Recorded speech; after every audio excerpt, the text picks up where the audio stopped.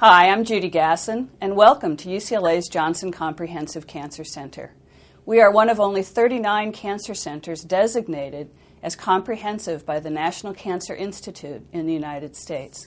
This means that we promote research excellence in all areas of cancer research prevention, detection, treatment, and survivorship.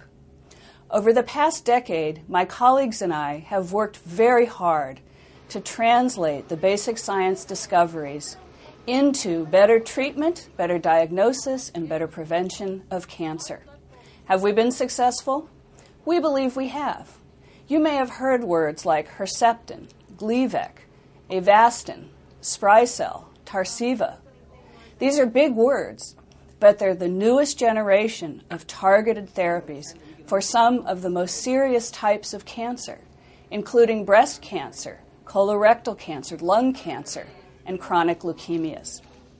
Our faculty have been instrumental in the design and the conduct of the trials that led to FDA approval of these targeted therapies, which are now in common practice across the country.